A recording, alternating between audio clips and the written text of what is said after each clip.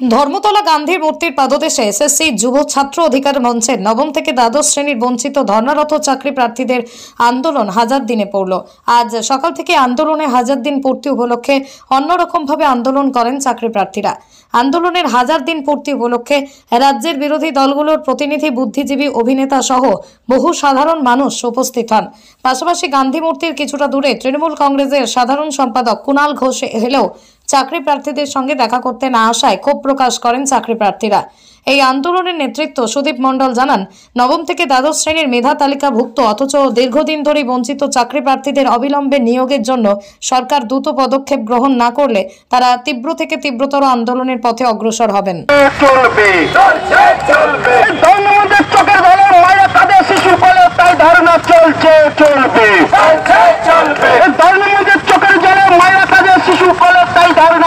ধারণা চলবে। এই বাংলার মানুষের দেখতে চাই মুখ্যমন্ত্রীকে সিদ্ধান্ত নাই, এই ধারণা চলছে, চলবে।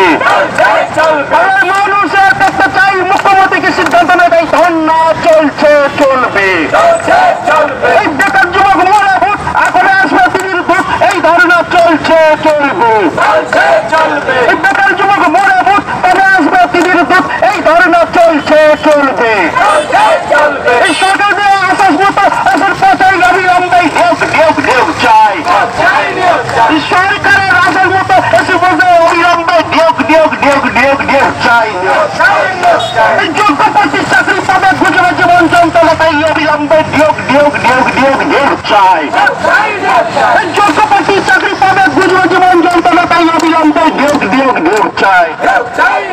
এই আটটি বছর ঘুরে চাই যোগ্যরা সব দাঁড়ানো তাই অবিলম্বে চাই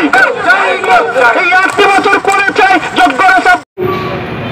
হয়ে মেধার লড়াই এবং তার বিপরীতে দাঁড়িয়ে যেভাবে একটা প্রশাসন চোখ বন্ধ করে রেখেছেন।